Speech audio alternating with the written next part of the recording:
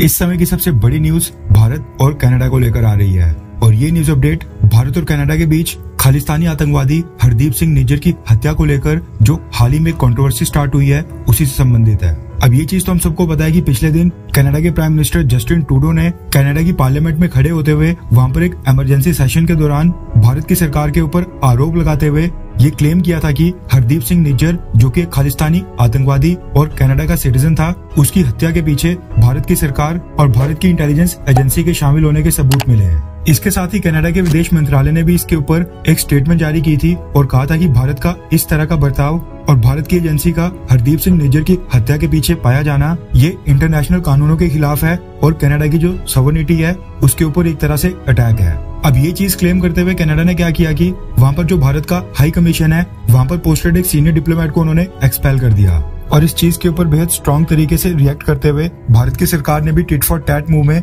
New Delhi में जो Canada की एम्बेसी थी, उसमें से भी एक सीनियर डिप्लोमेट को एक्सपेल करने की घोषणा की। अगर हम पिछले कल की डेवलपमेंट्स को देखें तो कनाडा इस पूरे मसले को लेकर काफ़ी एग्रेसिव मोड में थी। और न सिर्फ़ कनाडा के प्राइम मिनिस्टर बल्कि कनाडा की सरकार का जो विदेश मंत्रालय है, उसकी तरफ़ से भी काफ़ी स्ट्रॉन्ग स्टेटमेंट्स आ रही थी। लेकिन अब इस डेवलपमेंट के 24 घंटों के अंदर ही कनाडा के प्राइम मिनिस्टर जस्टिन टूडो की एक और स्टेटमेंट सामने आ गई है, जिसमें वो भारत के ऊपर थोड़ी नरमी बढ़ते हुए सामने नज़र आ रहे हैं। अब सबसे पहले तो मैं आपको बता दूँ कि खबर निकल कर आ रही है की इस पूरी डेवलपमेंट के ऊपर कनाडा की सरकार ने फाइव आइस की जो ये अलायंस है, जो आपस में इंटेलिजेंस शेयर करती है, जिसमें यूके अमेरिका, ऑस्ट्रेलिया और न्यूजीलैंड भी हैं। इन सब देशों ने इस मसले के ऊपर कनाडा को सपोर्ट करने से इनकार कर दिया था। रेफरेंस के लिए आपकी स्क्रीन के ऊपर वॉशिंगटन पोस्ट के आर्टिकल का स्क्रीनशॉट है। खबर निकल कर आ रही है कि कनाडा के प्राइम मिनिस्टर और कनाडा की सरकार ने इस चीज़ को पब्लिक करने से पहले अमेरिका यूके यानी कि ब्रिटेन ऑस्ट्रेलिया न्यूजीलैंड और जो बाकी के जी सेवन कंट्रीज़ हैं, यानी कि जी सेवन देश हैं, जिसमें जापान और जर्मनी भी आते हैं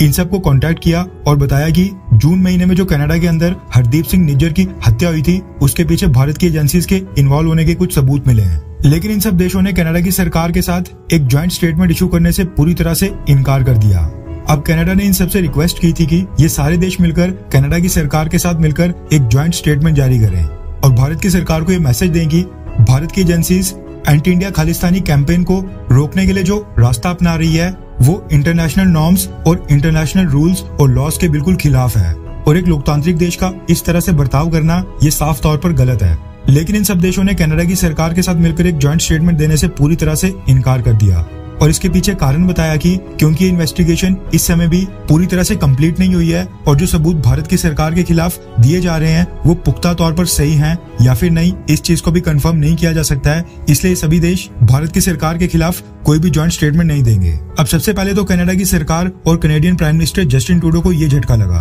अब अगर कनाडा की पॉलिटिक्स के अंदर जो वहाँ पर इंटरनल पॉलिटिक्स है, उसके ऊपर नज़र डालें तो कनाडा के जो सबसे बड़े ऑपोजिशन लीडर हैं, जो कनाडा के अंदर वहाँ पर प्राइम मिनिस्टर की पोस्ट के लिए अपनी दावेदारी पेश कर चुके हैं। उनका नाम है पियरे पॉलिवरे। उन्होंने भी पिछले कल जस्टिन टूडो की स्टेटमेंट के बाद एक स्टेटमेंट जारी की है, जिसमें उन्होंने कहा है कि जस्टिन टूडो जो भी भारत के ऊपर आरोप लगा रहे हैं, उसमें उनको साफ़ तौर पर सारे के सारे फैक्ट सबके सामने रखने चाहिए और जिस तरह की स्टेटमेंट जस्टिन टूडो भारत को लेकर दे रहे हैं, इस तरह की कार्रवाई उन्होंने तब क्यों नहीं की जब उनको सबूत मिले थे कि चाइना, कनाडा की इंटरनल पॉलिटिक्स के अंदर यहाँ पर इंटरफेयर कर रहा है। यानी भारत को लेकर तो जस्टिन टूडो इतने अग्रेसिव हो गए हैं। चाइना को लेकर जस्टिन टूडो ने सबूत मिलने के बाद भी इस तरह से क्यों नहीं रिएक्ट किया था? कहने का मतलब है कि जो कनाडा की इंटरनल पॉलिटिक्स है और जो कनाडा की ओपोजिशन की पार्टीज़ हैं, वो भी कनाडा के प्राइम मिनिस्टर जस्टिन टूडो के ऊपर अटैक कर रही हैं। इसके साथ ही न सिर्फ़ भारत, बल्कि कनाडा से लेकर कई सारे वेस्टर्न देशों के अंदर जो बड़े बड़े थिंक टैंक्स हैं, उनका ये साफ़ तौर पर कहना है कि कनाडा के प्राइम मिनिस्टर का अपनी पार्लियामेंट के अंदर एक इमरजेंसी सेशन में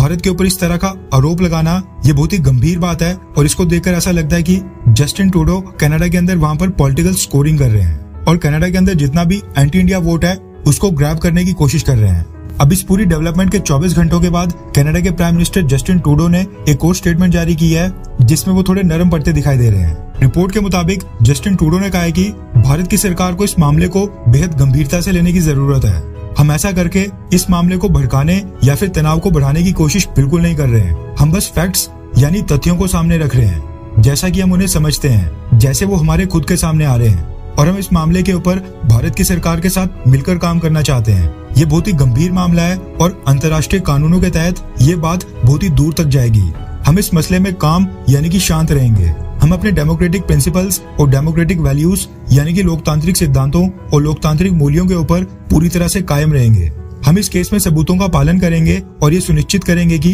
पूरे का पूरा काम सभी के लिए निष्पक्षता से हो। इसके साथ ही उन्होंने कहा कि उनकी सरकार कनाडा की इंटेलिजेंस एजेंसीज के साथ मिलकर इस मुद्दे को लेकर बहुत ही गंभीरता से काम कर रही थी। वो पहले ये सुनिश्चित करना चाहते थे कि इंटेलिजेंस एजेंसीज का एनालिसिस किस तरफ़ जा रहा है और क्या इशारा कर रहा है? अब क्योंकि कनाडा के लोगों को सच्चाई जानने का पूरा अधिकार है, इसलिए वो इस मामले को सबके सामने लेकर आए हैं। यानी कनाडा के लोगों को जानने का पूरा हक था, इसलिए उन्होंने ये मुद्दा कनाडा की संसद में उठाया है। वैसे अगर देखा जाए तो जो कनाडा के प्राइम मिनिस्टर जस्टिन टूडो ने इस पूरी डेवलपमेंट के ऊपर जिस तरीके से रिएक्ट किया है इसके बाद मैं कहना चाहूँगा कि बस यही कारण होता है कि किसी भी देश को अपने प्राइम मिनिस्टर या प्रेसिडेंट पद के ऊपर एक ऐसे व्यक्ति को बिठाना चाहिए जो फार साइटेड हो जिसकी सोच काफ़ी दूरदर्शी हो जो आने वाले एक डेढ़ साल के लिए नहीं अपनी खुद की पॉलिटिक्स के लिए नहीं बल्कि देश के अगले 10, 15, 20 सालों के भविष्य के लिए और अपने देश की फ्यूचर जनरेशन के लिए काम करे। अब अगर जस्टिन टूडो के ऊपर नज़र डालें तो सबसे पहले जस्टिन टूडो ने क्या किया कि चाइना जो कि दुनिया की दूसरी सबसे बड़ी अर्थव्यवस्था है उसके साथ अपने संबंधों को खराब किया।